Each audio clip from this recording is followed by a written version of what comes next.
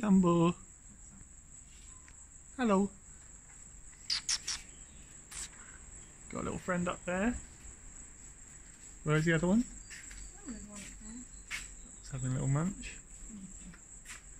Oh, that one's got boobies out.